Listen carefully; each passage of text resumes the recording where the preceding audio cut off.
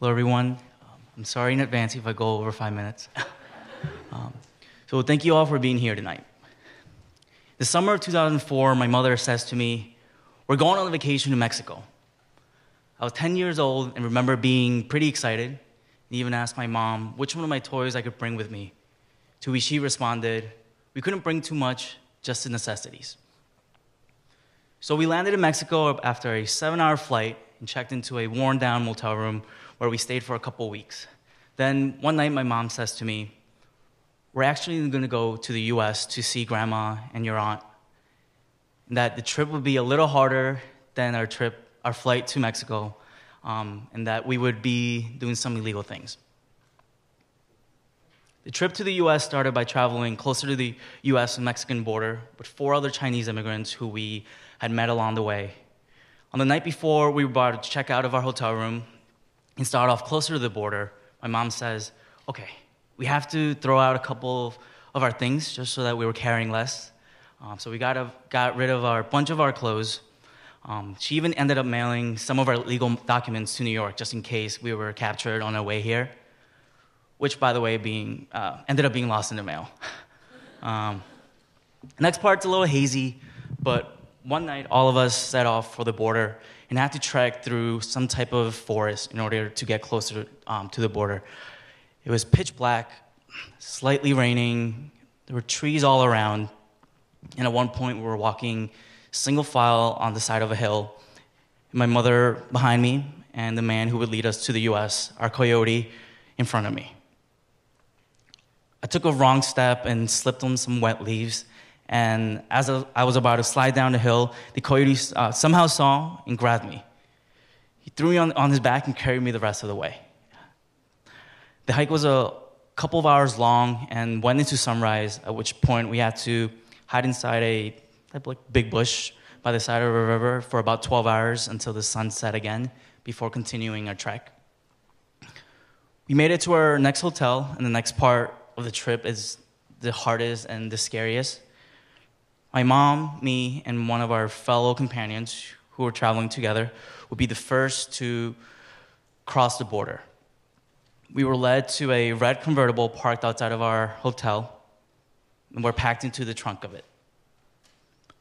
I went in first, followed by my mom, and then followed by the other man whose name I, I, I didn't even know. Our drivers were two very nice women who, during the drive, had the top roll down. Thankfully, it was a convertible. Um, and one of the back seats down in order to let me breathe. So I was the first one in the trunk, and um, it gave me the chance of having a little more ease of breathing. After a couple hours of driving, one of them leaned back and whispered, We're getting closer to the border, um, so I'm gonna have to put the seat back up. I said, Okay. I remember the next moments very clearly. Um, my mom was holding me, could feel her breath on the back of my neck. Uh, the car came to a stop, and I could hear the patrol, um, the border patrol agent and the driver chatting in a language that I didn't understand at the time, English. It was then that I thought about how much it would suck um, if they checked the trunk. Uh, they didn't, thankfully. Um, our car continued through, and we were in America. It was great. Um, my name's Antonio Xu Liu. As you heard, I'm 24 years old. I graduated with a degree in engineering from Stony Brook University. And tonight I'm here to share with you all that I'm a dreamer and a DACA recipient. While I was in grade school, the idea of college and adulthood seemed a great distance away. And so, being an undocumented alien, as one front desk assistant once accidentally called, read out loud for my record um, in college, the world has always had a way of reminding me of it. Don't argue with anyone on the street. We see police, walk the other way. If someone picks on you, just look down and leave. These were common phrases my mom said to me at the age of 10 as I left for elementary school every day. And still common phrases she says to me now at the age of 24 every day as I leave for work. I understood the inherent and very real fear behind my mom's repetitive, repetitive warnings more and more as I continued through high school. But those years never reached their peak. Um, that fear never reached their peak. Largely because as I graduated high school, as my adulthood was kind of about to begin, in June of 2012, uh, President Barack Obama introduced a policy that would become DACA. I'm one of 800,000 DACA recipients who has the great privilege of being legally able to drive to my local target with a smaller percentage of fear of getting pulled over. Um, I'm one of 800,000 DACA recipients who has legal authorizations to use my knowledge my degree um, to make the city that I live in better, also known as working. As I continued into adulthood and through college, my growing up continued too. There were some negative experiences. I flunked some classes. Physics was really tough. Um, I went through a couple bad breakups um, and even got into my first fender bender. It wasn't my fault. However, there were some really positive experiences too. I finished school and received a bachelor's degree. The first one, my immediate family, before my mom got married. I met my boyfriend of now four and a half years, Keegan, who's in the audience today. Um, and I even got a full time job after graduation. But one experience that's had a large impact on me happened more recently. This past October, my parents and I are semi debating over dinner about whether I should or should not attend the DACA rally and for the first time, like tonight, share my story in front of a couple hundred people. Their argument ultimately teetered on one point. What if people find out? Of course, what if the authorities find out? Of course, they already knew I was here. Um, but also, what if our relatives find out? What if the people that live next to us find out? What if the people we play mahjong would find out? Within the Chinese community, there's a culture of unspoken shame with being a dreamer and an undocumented immigrant, and therefore it's something that we keep very close to our hearts and don't share with anyone unless it's really necessary. Um, you guys are all very important tonight. um, this in turn results in a culture within the community where resources are not shared and used, where knowledge is not passed along, and just where mutual support doesn't really exist the way that it does in other places. A great example of that is despite being very open about my story and my status, the past 10 years I've met maybe five Asian American dreamers, maybe six, I met some, someone new tonight, all whom I met over the past eight months. DACA has given me and many others the ability to do a lot of things and live a much more regular life. But I still have to plan my future in spans of two years, which is how long each DACA renewal is. I still can't travel abroad for work, school, or vacation. I still get nervous every time I drive and think about getting reactive. The officer asks me what the temporary visitor stamp on my license means. There are 2.8 million other young people who have these fears and even more because they do not have DACA. There are 2.8 million other young people who don't have the privilege of missing, dismissing my mother's repetitive warnings. And that's why we have a lot of work to do, and that's one of the reasons why I share my story. Thank you very much for your time, for listening. I appreciate it.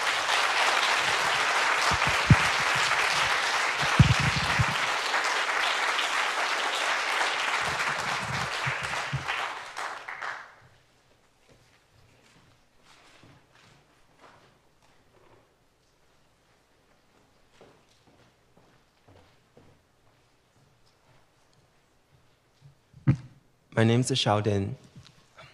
11 years ago, 11 years ago, I came to United States from China.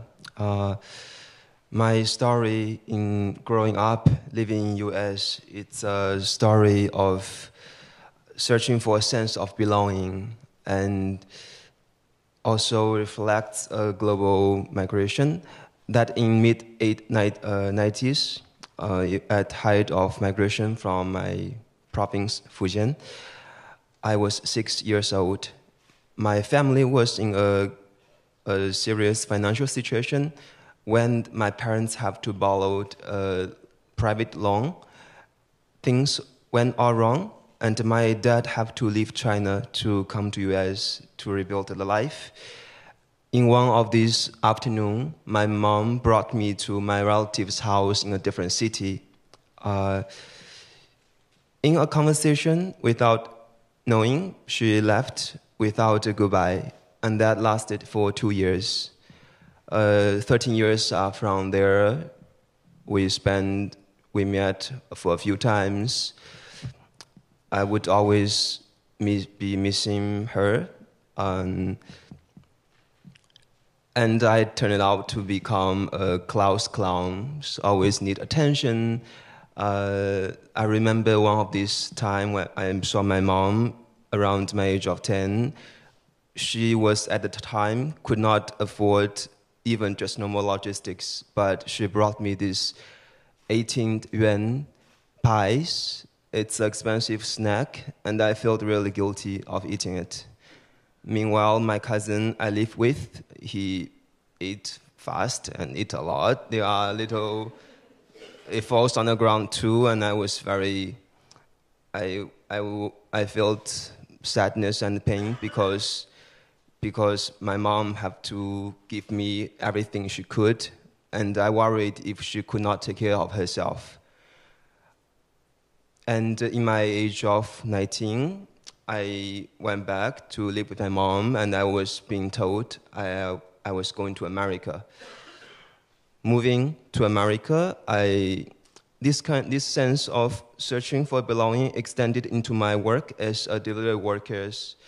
Uh, in the first year working as a delivery worker, it wasn't so obvious because I, I served uh, Mexican families and supermarket workers, but uh, two years ago, my another delivery worker work job was in Manhattan. It was qu- uh, quite alienating work environment.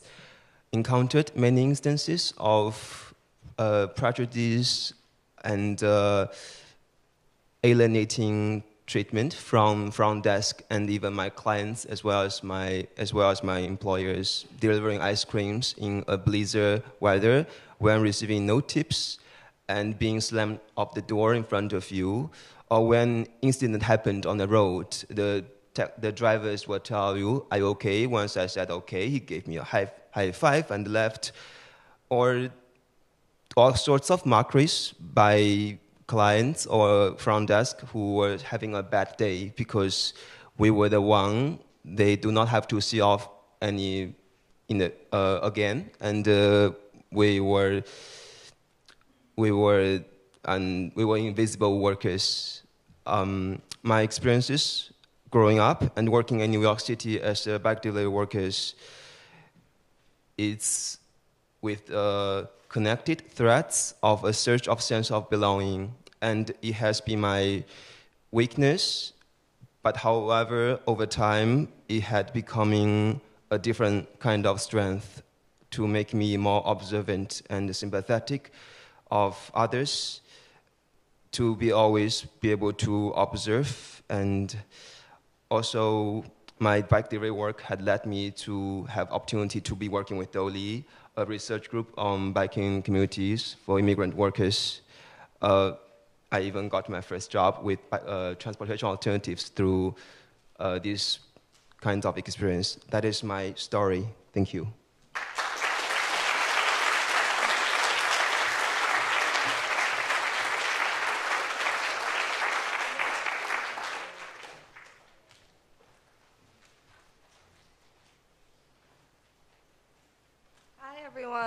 Um, so my name, Hi, so my name is Stephanie Ji Won Park, um, and I'm currently a DACA recipient. Um, I'm undocumented, and I am a community organizer at the Asian American Legal Defense and Education Fund, um, also a co-founder of the Asian American Dreamers Collective, and uh, the vice chair of the board of directors at United We Dream, which is the largest um, undocumented youth-led network in the country. Um, and today I'm up here to share my story with you guys. Um, just a little correction. I actually came to this country when I was five years old, not as a teenager. Um, but the bio was correct. Uh, so, um, yeah, I came here in 1998, a month away from my sixth birthday. Um, my father, from South Korea, uh, my father had already come a couple of months before, um, and I came with my mother and my younger brother, who was two years old. Um, I also have an older sister, and she came to this country separately four months after us. Um, and so we entered on a tourist visa, which gives you 90 days, sometimes a little bit more um, to stay in this country um, and to be able to adjust your status in that time frame if you're choosing to stay lawfully. Um, so with my uh, family, we were supposed to get religious visas through a Korean church. um, which is kind of a common way for some folks in the Korean community. And um, that felt, and all of this I learned only in the last year um, because as Antonio and others have expressed, like the sense of shame and secrecy that's in some Asian cultures, or especially in my families. Um, so we were supposed to get a religious visa, and that was supposed to be through a family member who had invested in this Korean church. Um, and the pastor was supposed to acknowledge, uh, authorize this, and but because of an internal church fight between this family member and the pastor about who should have control over the church, um, in a kind of I considered a very Korean manner. My parents were just told, like, oh, we've never heard of this religious visa from this family member who we were supposed to do it through. Um, and so that's how we became undocumented in 1999.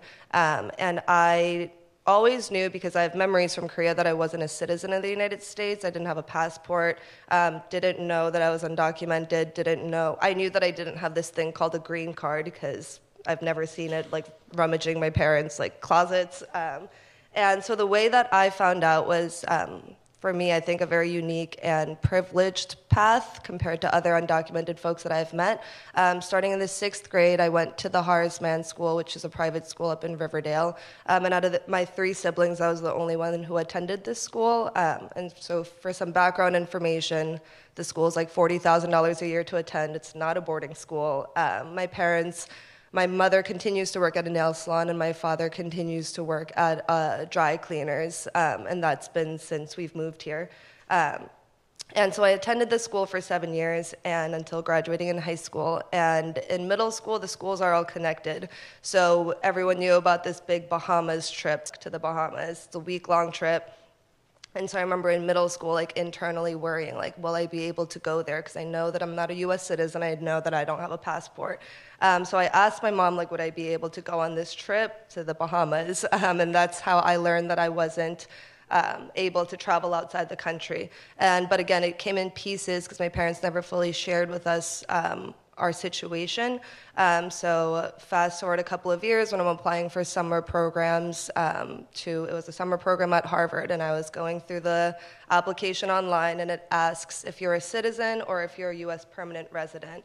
Um, so I knew I wasn't a citizen. I assumed that I was a U.S. permanent resident just from how the word is stated. I've permanently resided in the U.S., um, but I could not refresh the page because it was asking for like a nine-digit social security number, um, which I did not have. And so that's how I found out that I was also not a permanent resident. Um, and then I guess when I finally realized my status um, as being totally undocumented is when I had a meeting with my college advisor at Horace Mann. Um, and I remember when I tried to explain to my situation, I was like, I don't have a social security number. We don't have green cards. Um, and that's all I could explain it to him. And that's when he was just like, and he had tears in his eyes. And he was just like, oh my goodness. I think I called myself illegal because at that point I did not even know of the word undocumented. So I was like, I'm illegal. And he was like, oh wow, you are undocumented. Um, and his response was more like he needed Kleenexes. I'm pretty good at like stifling my emotions, I think, as a Korean or as an immigrant. Um, but uh, he was in tears and he was like, oh my goodness, what, like, how could this be? Um, like you dress, I mean, yeah, because I think another, an, another added aspect was that I was also hiding my class as a working class, um, as a daughter of working class parents. And all my friends were, you know, comes from millionaire and billionaire families. So for his response, it's like, "What? Your English is perfect. You dress like them. How could you be undocumented?" Um, and that's really just been my experience a lot of the time since um, having come out as being undocumented and having that being the response and understanding how, what an insane privilege that is, where it's not like already assuming me to be a criminal because of the color of my skin, um, and assuming like, wow, you, you should not be in this situation. I don't know about the other people, but it should not be you in this situation. Um, and so from there, uh, I was applying to colleges at a time before DACA was uh, announced. So in 2011, I graduated high school, and for applying to colleges, I was also not a straight A student, so we had to find like schools that had kind of heard of undocumented students and would will, be willing to accept them and give them scholarships, though financial aid was not available. Um, thankfully, I was able to go to the Macaulay Honors College, which is here in New York, and I went at Hunter College where I was able to get free tuition, free dorms, and a free laptop. Um, and there is where I really I studied English history and media studies, but it was really through the lens of Black Americans and other oppressed peoples in this country. Um, and there I learned um, a quote that I'll share with you guys by a poet named Denice Frohman, where she says, "Your wound is probably not your fault, but your healing is your responsibility." Um, so from there is where I a lot of my yeah my thesis on like black studies um, but realizing I'm, I'm not a black person um, i will never exper- uh, understand that experience but what i do know and have experienced is being an undocumented asian person. Um, and so that's from there i became a, after graduation an uh, immigrant justice corps fellow at the MinKwon center which is the organization that actually um, did my daca applications back in 2013 um, so i was fortunate enough to be a legal service provider there um, where I filed over 300 DACA applications. Um, but from there, it was also being a legal service provider, it wasn't enough. People, I could tell, like the clients that were coming in, it was they did not want to be in the space. And I remember it as well. It's traumatic to be in the space where you're reminded that you're undocumented every two years. Um, so, being a legal service provider, the one thing that I realized really did empower my clients and community members is saying, like, I have DACA as well um, and a lot of their jaws would drop because they wouldn't even see that as like an opportunity of being documented, but being able to understand and practice the law. Um, and so from there, that's where I realized that we just need uh, what in my belief, the Asian undocumented community needs right now is um, we have the legal services, we could always use more of it, um, but real education and organizing capacity. Um, and I think oftentimes, I think, I think part of the reason why events like this exist is to highlight that immigration undocumented immigration is not just a Latinx issue, um, and it's an issue that affects Asians as well. And I get asked all the time, like, why are people so silent about it? Why don't people come out? Um, and part of it, I think, is just a matter of time. Um, and another part of it, I think, is to also realize that being loud isn't the only way to show your power. Um, there are other ways to do that as well. Um, so thank you for listening to my story.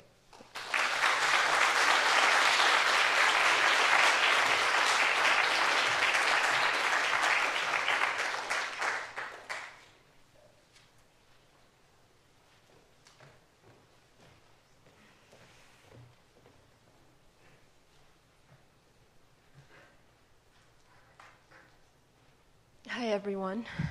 Um, let's see if I can this.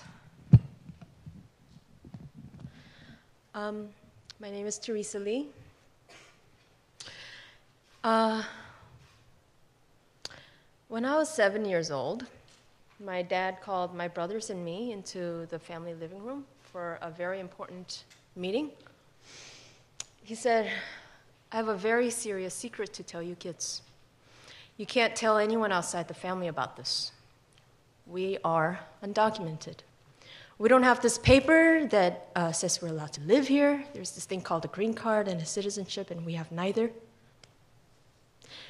We're supposed to go to Brazil, where I was born, or South Korea, where my parents were born. It's complicated. We could even be separated if anyone found out about our status. That's why we cannot tell anyone the kind of fear um, that you grow up with when you're an undocumented child is all pervasive. I've shared many stories with my fellow undocumented friends of the recurring nightmares we grew up experiencing with uh, uh, uh, paramilitary style police raids, with your, your family members taken away or worse. And with this fear comes a deep sense of isolation. Like most undocumented kids, I also grew up extremely poor. For years, our family lived in a basement in Chicago with no furniture or beds. We slept on hammocks because the basement flooded every time it rained. There was no hot water or heat, and some days we would go without food. It was around that time that I started playing the piano at my dad's church. My dad was a pastor who was never quite able to grow his congregation enough to um, uh, be eligible for a religious workers visa. But he did have uh, a wealthy parishioner who, when she found out how we were living, bought us uh, thousands of dollars uh, of worth of uh, new furniture, including a piano for me.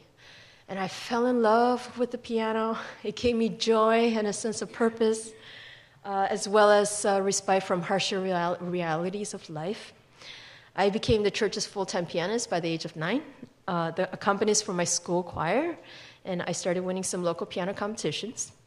And when I was in high school, I got a full scholarship to the Merit School of Music, and within a year, uh, I won a bigger competition, which meant I got to perform the Tchaikovsky Piano Concerto with the Chicago Symphony Orchestra. And I was the first inner city kid in Chicago's history to do so.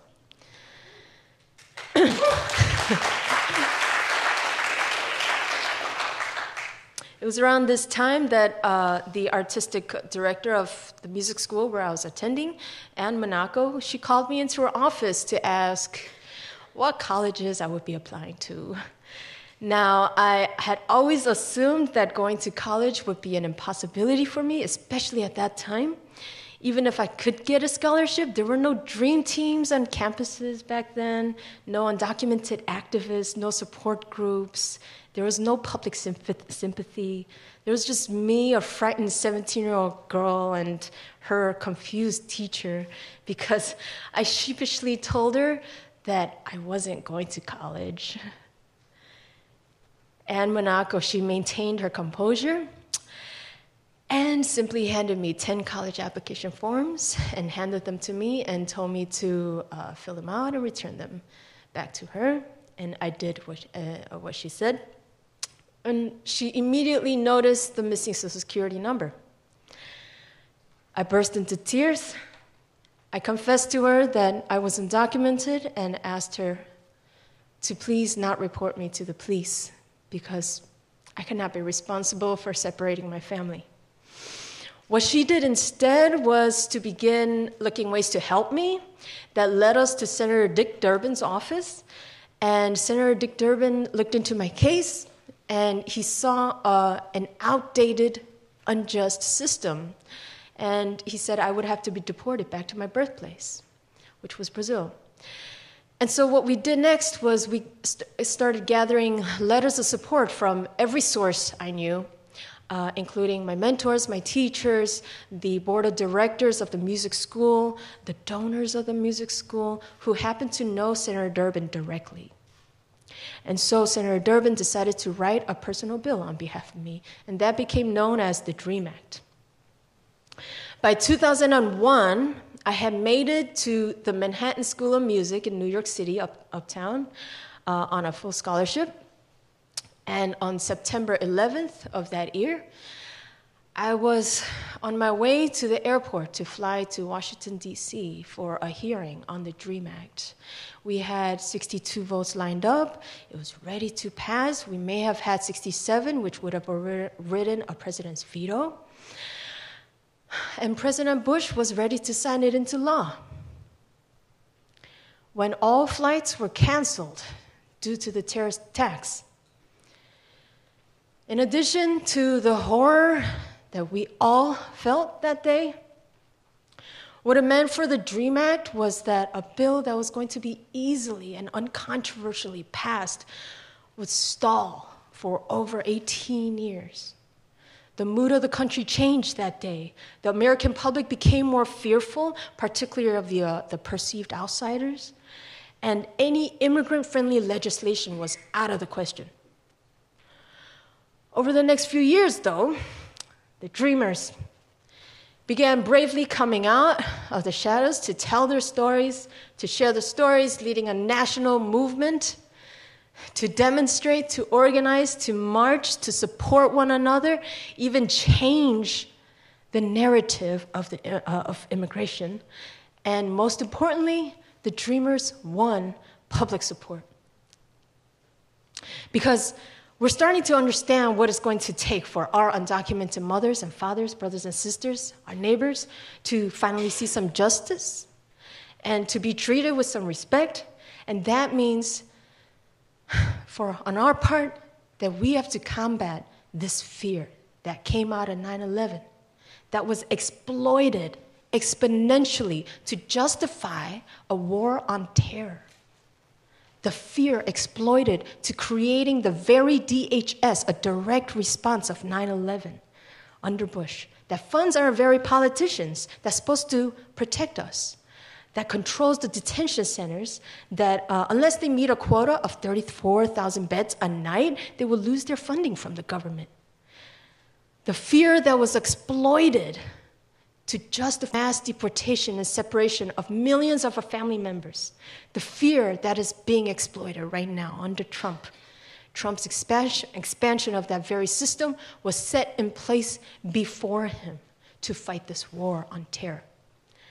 To see real justice for me, for our people, means combating the fear by saying, no more war, no more hate, no more racism, no more criminalizing people of color, no more exploiting human rights for war, for money, for political success. To see real justice means combating this fear with love, with empathy and care for our neighbors, for example, making sure that there's a safe sanctuary space in, our, in your own neighborhoods. And I believe that this is the first step to a broader, sane, comprehensive immigration reform. Thank you.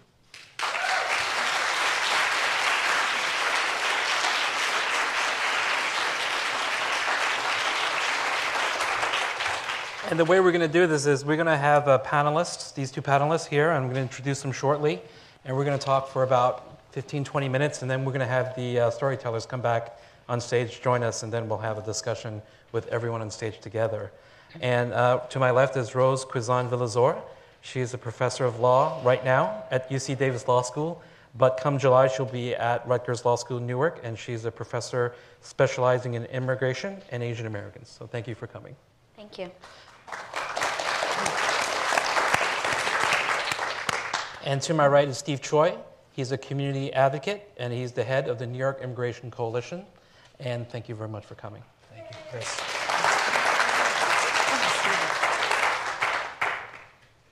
The Asian American Bar and Asian Society saw that Asian Americans were not part of the political discourse about immigration in a way that we thought Asian, Asian Americans should be.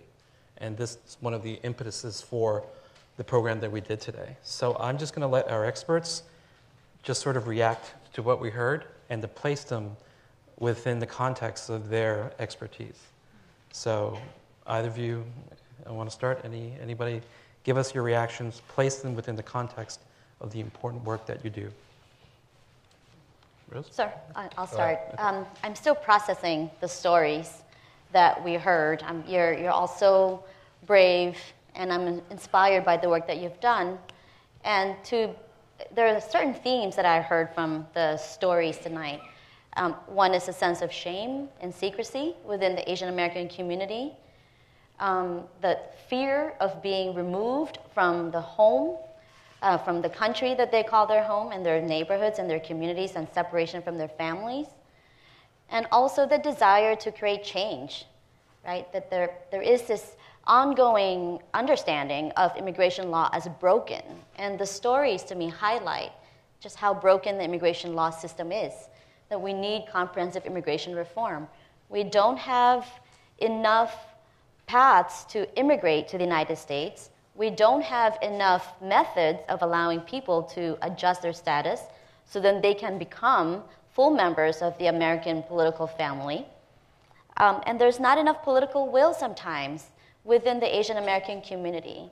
And that's something that absolutely has to change. Steve?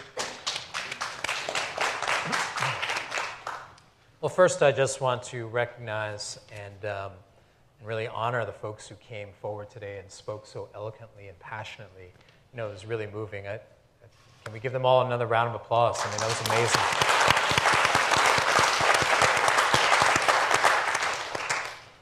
Um, I, and I, I, think that's one thing that I've really been struck by um, in working on immigration for the past 15 years um, has been that it really has been the leadership of young undocumented immigrants and in our community, Asian American um, young undocumented immigrants who have actually changed the narrative. It's, it's really amazing. Um, I remember during my time when I used to be the executive director of the MinKwon Center for Community Action, um, for so long we just took it for granted that um, folks would not, folks who were undocumented would not come out about their status. And it was this source of shame. And it kind of was a self fulfilling prophecy. And I remember, right, maybe five, six years ago, um, there was a crew of these young Korean American undocumented immigrants who didn't accept that. You know, folks like Tony Choi and Emily Park and um, David Chung, who all of a sudden said, you know what, I'm undocumented, but I'm unafraid. And I just remember the reaction of the people. The Korean media was like, what? How can you be saying that? And they were like, I'm undocumented, I'm unafraid. And it just blew people's minds. But it, it helped to really normalize the fact that there are undocumented folks. Think about 15% of all APIs, of all Asian Americans, are actually undocumented immigrants. And so it helped to normalize that. And people started to realize, like, hey, the sky doesn't fall. You know, folks are undocumented, they're coming out, and they're not afraid. And it really helped to change the dynamic, particularly with the Korean community.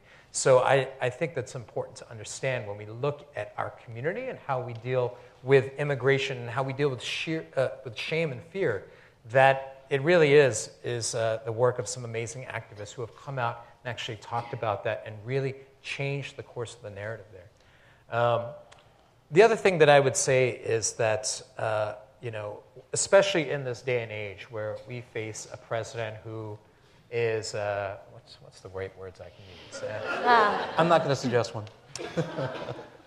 I think Asian Americans find them, uh, find ourselves in a very interesting place right now. Um, because I do think that we are in a situation where actually the top two sending countries right now of immigrants to the United States, it's not Mexico, it's not the Dominican Republic, it's India and China. So when we are talking about immigration, we are really talking about, in many ways, what is an API issue? What is an Asian American issue? But I think it has been a struggle for so long to have Asian American communities have their interests represented and to really sort of stand up as well. Um, the last time we were actually talking about immigration reform was in 2013. And I remember at the time, um, you know, Senator Schumer was leading this big bill, and they were trying to get 70 co-sponsors onto this bill that eventually got 69 co-sponsors in the Senate and passed the Senate. And this was a bill that was terrible for Asian Americans. And you know, it really would have cut down on the ways that folks, that Asian American communities rely on to bring their family members over. Um, and it really would have had these terrible negative consequences. And I remember we were talking with Representative um, Grace Meng at the time. We said, This is a bad bill. You should come out publicly against Senator Schumer and say that. And to our great surprise, she said yes. Um, and so she came out publicly, and, and what I remember was a couple days later, I got a call from Senator Schumer's office, and they said, We're going to get on a call, and we're going to talk about how this bill is good for Asian American community members, and we're going to have a very special guest, Grace Meng. I said, Oh my God, what kind of pressure did you put on Grace to be able to, to do that? Um, but that's something that was really striking to me is that we were having a conversation about immigration, and Asian American communities were not at the table. Um, and, and, then, and then once then went in one direction, political pressure just pushed in another. So how do we get those communities out of the dark into the light to tell that story and to be part of that political process? So I think it is changing, but I do think that there needs to be a reckoning within the Asian American community because a lot of times, right now, the loudest voices that you hear are conservative um, Asian Americans talking about um, why they actually are not in favor of immigrant rights. And there's been, uh, and they get a lot of media attention. Um, but I think it's absolutely critical that we do that. And I think the issue with our communities under the Trump administration is there's a little bit of sense like that doesn't affect us. Right? right. There, he's actually talking about the brown people or the black people, and that's not us. And I think it's a fundamental misreading of Asian Americans in this country's history. The very first anti-immigrant laws ever passed in this in the United States were the anti it was the Chinese Exclusion Acts the federal law began to exclude people because of Chinese laborers. Absolutely. And before that, there was no real bureaucracy to exclude people. It was basically open borders, right? And well, actually, yeah. so it's not just it's not against the laborers. The very first um, Chinese exclusion was against Chinese women, prostitutes, in 1875, which predated the Chinese Exclusion Act. So we need to remember the intersectionality of race and gender that operates within our immigration law framework. Um, but yes, there were bars to immigrating to the United States based on race. That started with the Chinese, and then it moved on to all Asian American groups or Asian groups, except for Filipinos, because mm-hmm. Filipinos, the Philippines was a U.S. territory for about 50 years. So the Exclusion Act did not apply to them.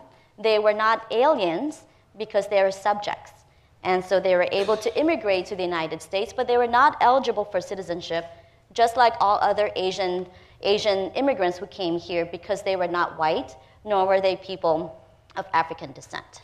And that exclusion from citizenship then led to ongoing marginalization and subordination of Chinese and Japanese and many other Asian groups. The alien land laws were passed in the, um, in the 1900s.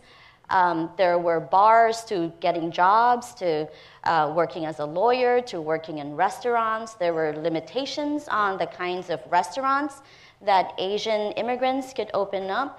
There was a whole comprehensive desire by federal and state and local governments to exclude Asians, uh, Asian Americans, and immigration law was at the root of that. So, if contemporary Asian Americans are not aware of that history, they should be. That's number one. They mm-hmm. should take your class.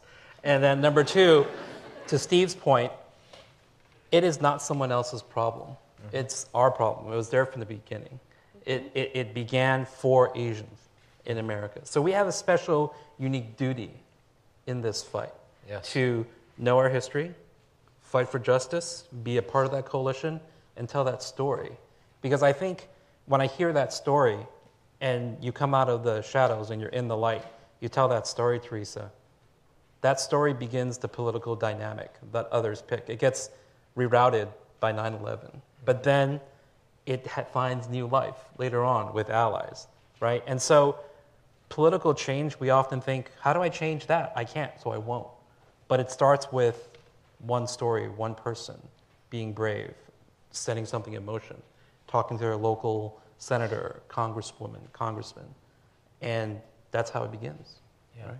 And, and I actually don't think we need to go back to the 19th century to talk about how, you know, the, really the situations that Asian American communities face. There always is this distrust of the outsider. We can look at the 21st century, mm-hmm. right? The, uh, folks can remember the controversy around Wen Ho Lee and, and the, the, the accusations made against them. But even special registration, you know, in the wake of 9 11, the Bush administration launched this program, special registration, requiring every single male from all these different countries, including Asian countries, African countries, that resulted in tens of thousands of people being deported and not a single terrorism conviction. So, you know, we don't have to look that far back in history. We can look back 10 or 15 years and we see an example of how Asian Americans, with one click of the racial targeting wheel, we were the ones who were really being targeted. And I think it's important to remember that. That's right. I mean, I think that historically we should never think, oh, you know, things are always getting better. That was so long ago, and that was the past, right? And that was when we were much more racist, and we're good now. But I think that, you know, I, I, I think it, if you have that, people sort of have that general sense of progress. But I think that, you know, our society and what's happening is much more cyclical, mm-hmm. and it's much more sort of a back and forth. And we're really in a conservative era mm-hmm. in America and also the world. Mm-hmm. You know, as it relates to these issues that we should care about.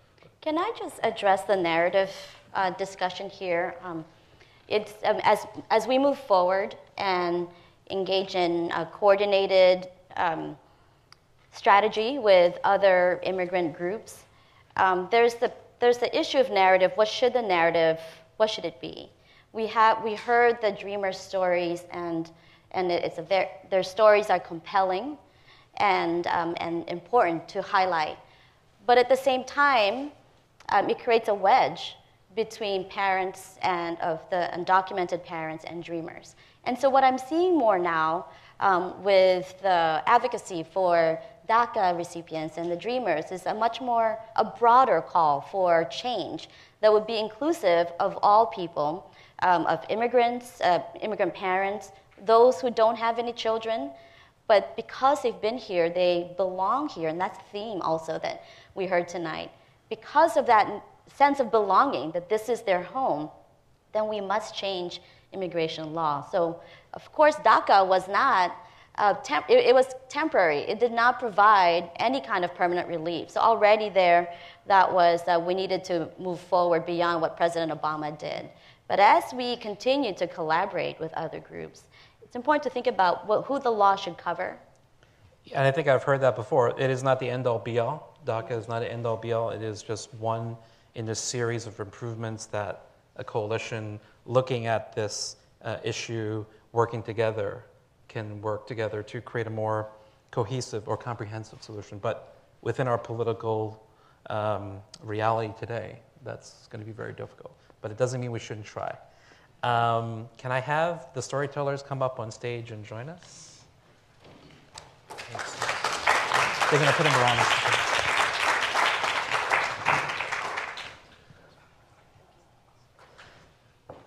Welcome. Thank you so much for sharing your stories.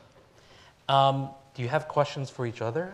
Or is there any sort of reaction to the discussion we've had that you, would, you want to sort of share with us? So, floor is open. Um, yeah, I can uh, just um, regarding Tereza. This, yeah, it's on. It's on. Uh, the story that Tereza shared, um, I found that historical bit uh, very important. I didn't under, I didn't realize the whole that the bill was supposed to be discussed on September 11th, 2001. Um, so I think that is fascinating, but also on top of that, um, beyond 9 11, um, having a black president, I think, also um, made it so that any type of immigration reform or anything that he's proposed would have been just automatically shut down. Um, but yeah, I found that part of the story, yeah, fascinating, and that you were part of that history that will definitely be in history books. Thank you. Oh, thank you. wow, this is awesome. No, no. Thank I, you. I think something really interesting is um, maybe some of you guys agree tonight is uh, as I attend more of these events and meet more dreamers and meet more individuals who are involved in this act, this group of activism, there's a lot of things that I'm learning way more of, and I think the historical aspect of it is really it, interesting and it's eye opening in that aspect. Um, while at the same time, um, know, gets me to understand that I feel like a lot of my friends didn't really understand what DACA was. They didn't really understand what being undocumented meant, other than the fact that I didn't have a passport, which I do, uh, a Venezuelan passport um, or a green card. Um, and I think that kind of got you know gets me thinking of. I think one big issue of it is the lack of education in you know in our communities, but also just in the U.S. in general that can keep like I feel like keep immigration reform from happening. thought, uh, one thought I had was that the 911 attack did not only delay the DREAM Act. It's on. It's on. Ah. Hey, uh, the visa my my father applied for me was also delayed, along with other many thousands of other immigrants. Um, that was the effect on myself. Um, I have to say something. Oh, you don't. You don't. Um, I, I just uh, uh, there's there's uh, one thing also that I feel like we didn't touch on is um, well, kind of did with the sense of belonging, uh, but the opposite of that is isolation. Um, isolation leading to depression. There's a huge um, the undocumented community, there's a lot of depression. Uh, every day, people wake up and not know uh, whether their families are going to be separated or whether um, they're going to be able to um, go to work or things like that. And so, depression is um, an everyday um, issue for the undocumented community. So, I mean, and I think that that's one of the things I learned by by talking to you all is the enormous social pressure of being undocumented and the things that it leads to the shame, the fear, the depression. And as a lawyer, you know, we understand, oh, this is the effect of the law.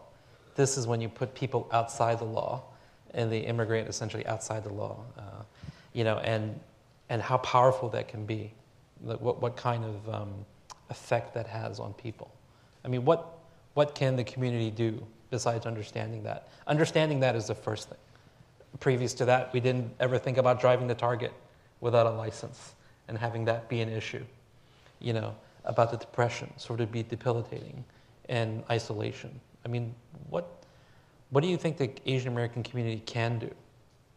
You know, besides hearing that story and recognizing it. I think that um, this uh, panel, this setting tonight, storytelling, is extremely important.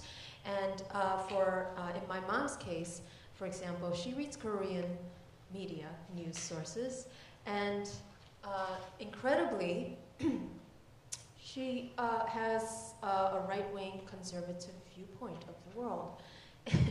and uh, even though she herself is undocumented, she herself believes that, um, you know, uh, we uh, don't deserve rights as human beings to be here because we are here illegally.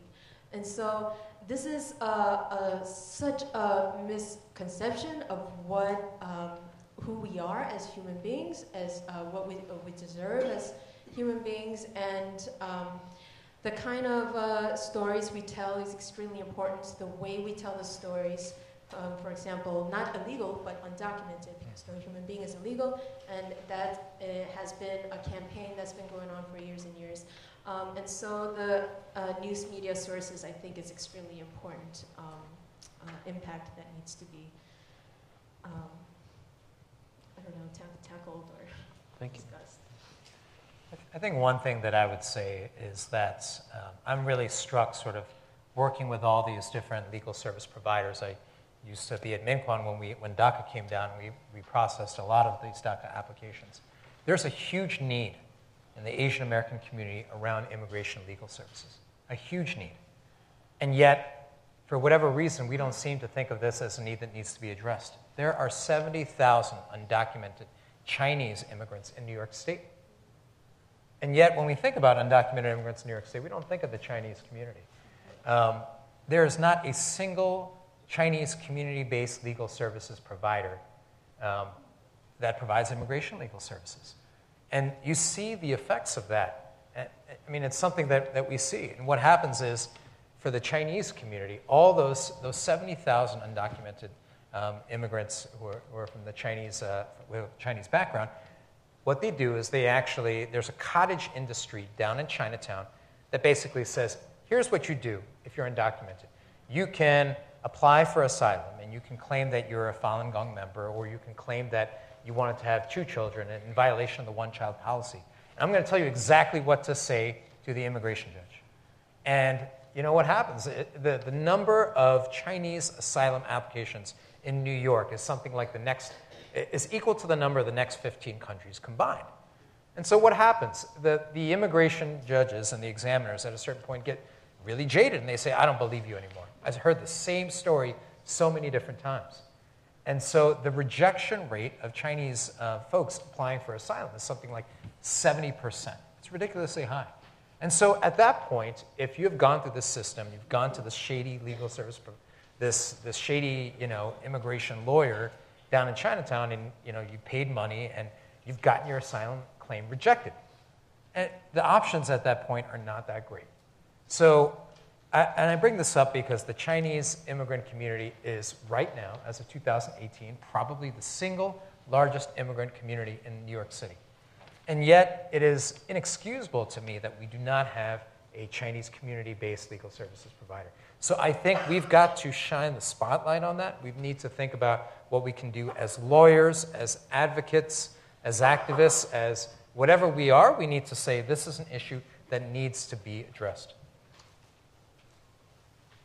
Are you on that, Chris? I, I, I, I just, it just, it just got on my list. Okay. I mean, it, it's funny, you know, I, I, was thinking as you were saying that in my church, uh, someone asked me once to come and vouch for them. Uh, and he had been coming to church for the previous two years and came in late and left early. And I was like, oh, I think I know what this is about, you know. But you always want to be open. You don't want to be close to it, you know. You give people the benefit of the doubt. And, um, and I went into the immigration hearing, And I guess I'm a Chinese person, so everyone treated me really poorly. And I was thinking, oh, this is interesting. This is how they get treated. You know, I, at that time I worked for a federal agency, and I knew how people treated me when, I, when they came into my office. And I was still me, but I was a Chinese person in the, in the, in the court. And, uh, you know, when I spoke English, they were all like, what? You know, they were very surprised. And I was like, oh, this is interesting. And, um, and I told the person applying, I will tell the truth that I've seen you in church for the past two years, but I will not say anything beyond that you know. And then right before we walked, we walked in, he's like, 2015, can you go back to then? I was like, no, you know. So we went in and I sort of did my thing, and he was granted right there. But I saw the docket, 90% Chinese names, right? And then he pressed a red envelope into my hand. At the end, I was like, no, thank you. I do want my job. but seriously, I didn't know that. And um, I know how much these guys cost when they go to these small time lawyers in and around Chinatown and City Hall, and I don't know how good of a legal services they're getting. So. All right. Are there any questions that you have for each other? Or maybe it's a time for audience questions, if there are any. See in the back. Yep.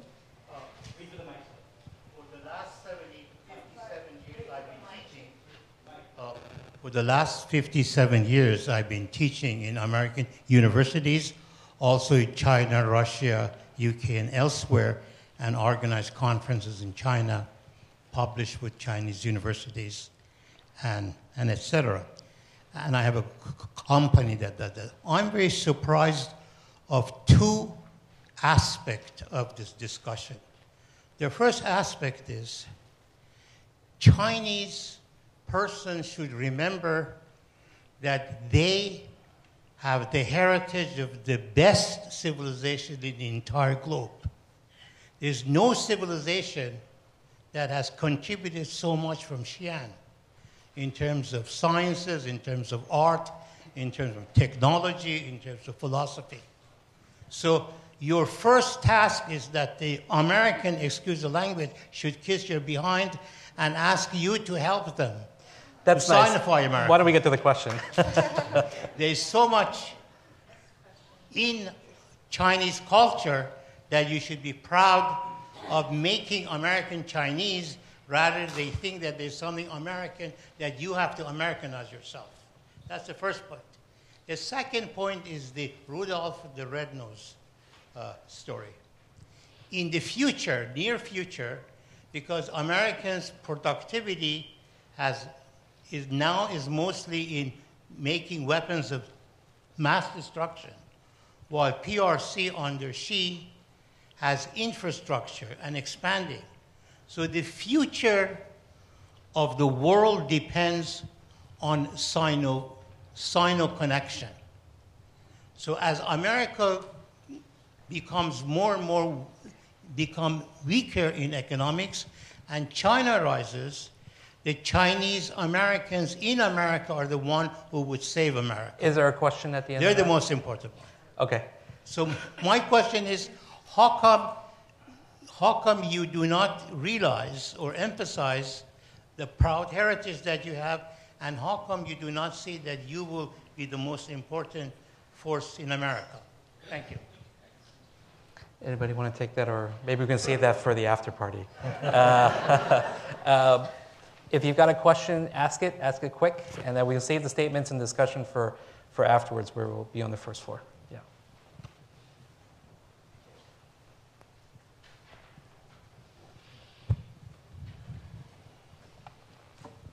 Hi, thank you so much for sharing your stories. Um, it was very special to hear.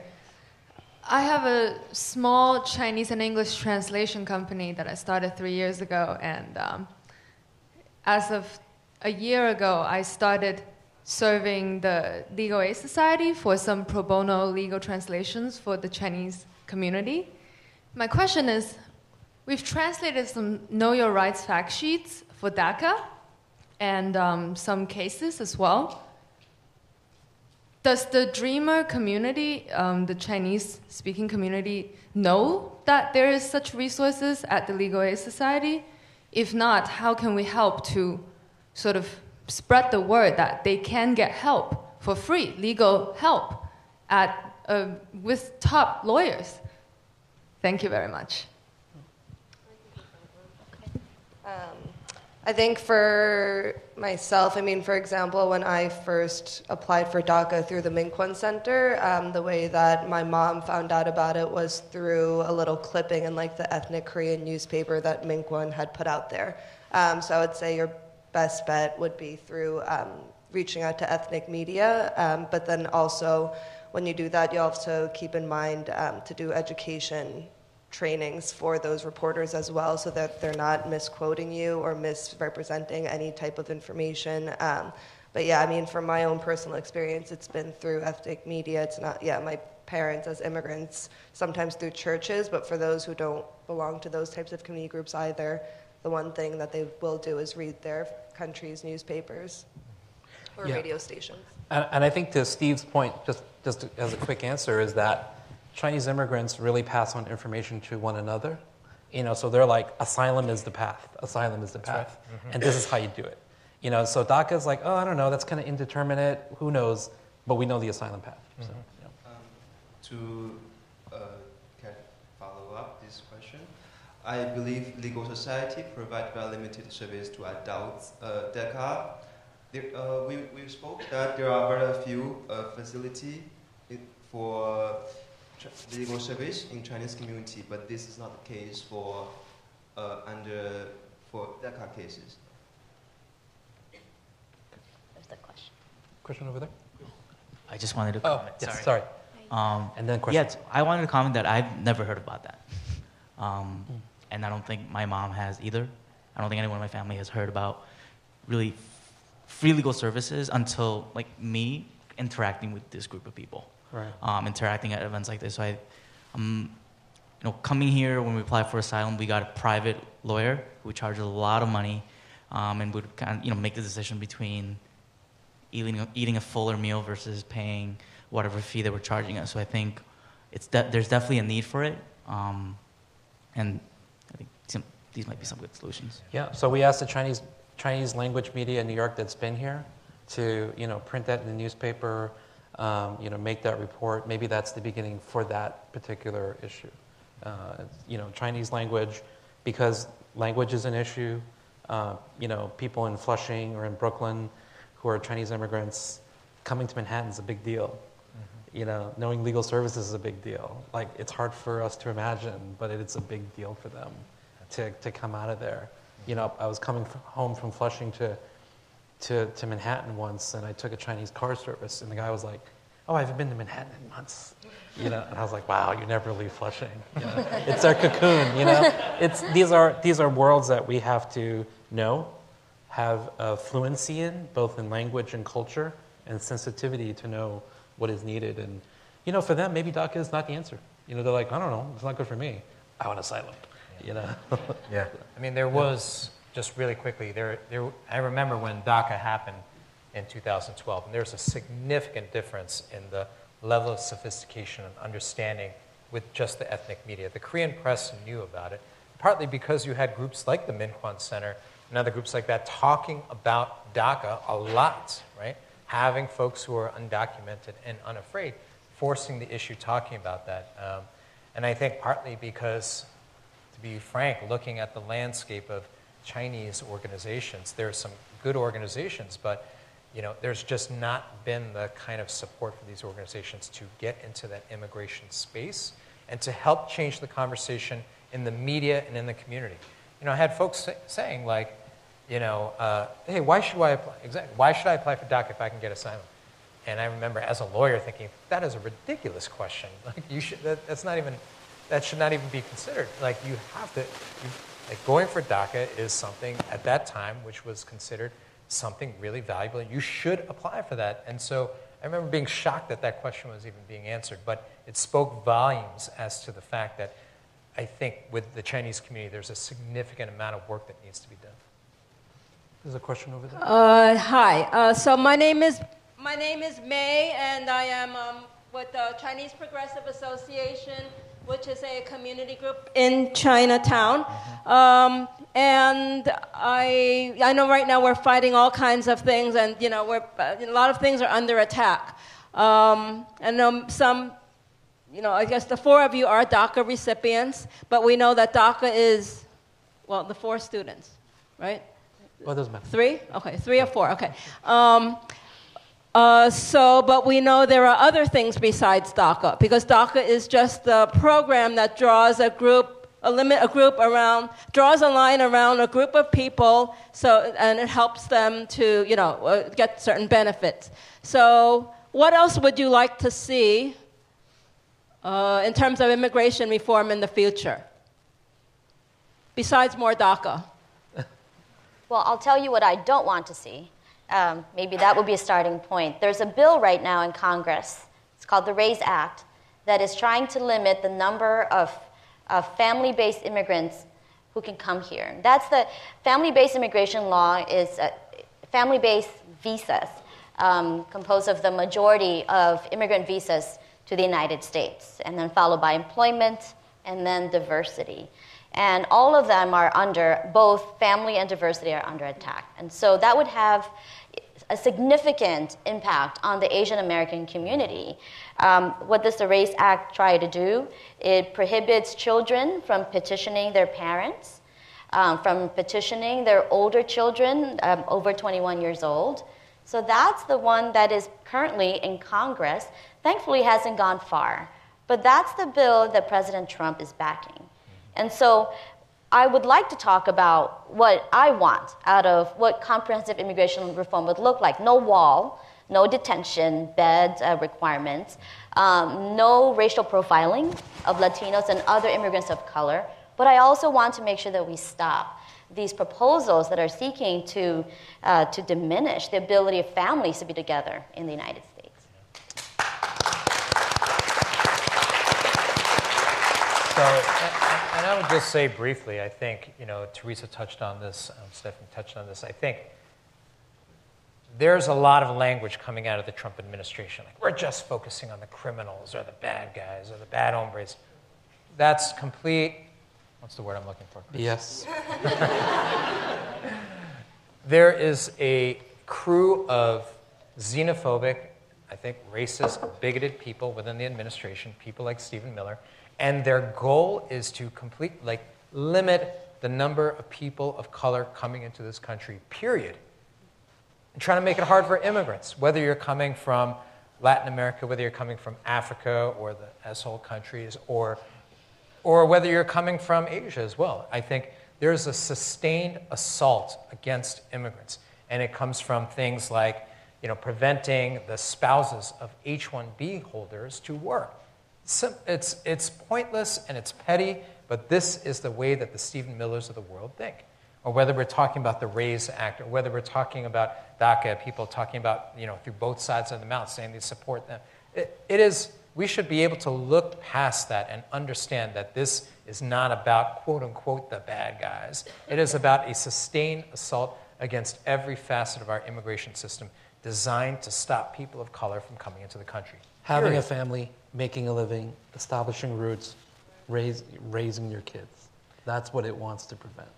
It wants to prevent people who are brown, black, yellow, anything coming into this country for some, and really is just throwing red meat to the folks who respond to the Stephen Millers and think that that guy's a good guy, right? And, and, and we must understand we cannot fall prey to thinking, yeah, yeah, it, it, it makes sense to focus on the criminals. It is completely wrong I think we've got to be able to call it out for what it is. Thank you. And let's continue this conversation. We have a reception on the first floor. And I know AABANY and Asia Society and all our community partners think of this as the beginning of a conversation that we want to continue. Thank you very much.